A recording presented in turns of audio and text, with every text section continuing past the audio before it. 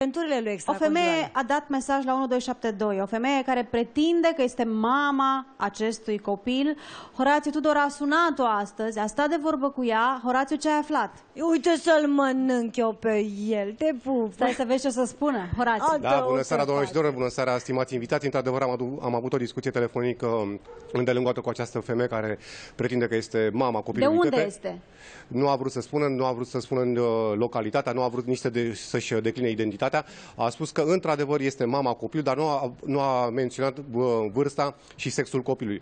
Uh, un lucru foarte interesant este acela că uh, presupusa mamă a spus că uh, Pepe și-a recunoscut copilul și uh, poartă numele de Pascu.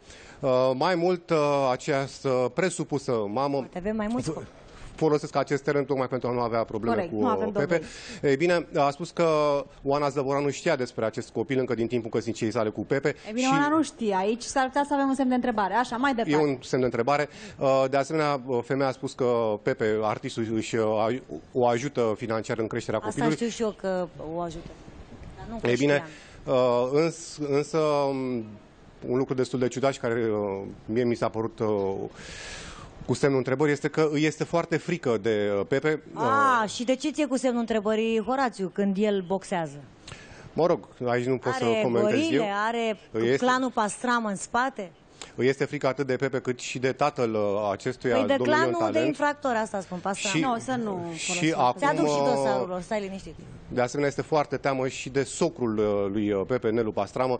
Ei bine, și un lucru de ultimă oră, femeia, până să intră, până să intră în De cine legătură... mă, de avocatul, domnul Nelu, Stai domnul puțin că are o avocat? informație stai. de ultimă oră. Te Da. rog, Horațiu. Femeia m-a sunat uh, cu o jumătate de oră înainte de intrarea în uh, legătură directă și mi-a spus că Pepe a sunat-o pe parcursul acestei zile de aproximativ 60 de ori și a spus pe un ton uh, imperativ, pe un ton foarte Logic. hotărât, ca nu cumva să își decline identitatea pentru că va avea uh, de suferit. Logic, tipic lui. Horațiu, Da, te uh, ascult, Cristi. câți ani are copilul? Ce ai aflat?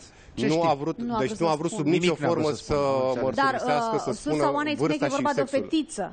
Că ar fi vorba despre o fetiță. Da. Eu am insistat, doamnă, haideți să, să încercăm să ne întâlnim, să, Poate fi alt să, copil să găsim sau o cale. altă femeie. Pentru că nu puteți uh, păstra uh, secretul asupra identității copilului foarte mult uh, timp și aici sub nicio formă, pentru că deja mă simt uh, urmărită și repet, uh, Pepe a sunat-o pe parcursul zilei de astăzi de peste 60 de ori și a spus Dar a simțit să nu nevoia facă să- niciun fel de să greșeală. spună. Și să Este, Foarte este interesant. tipic lui. El v-am, eu v-am spus Mulțumesc, toată Horațiu. vouă.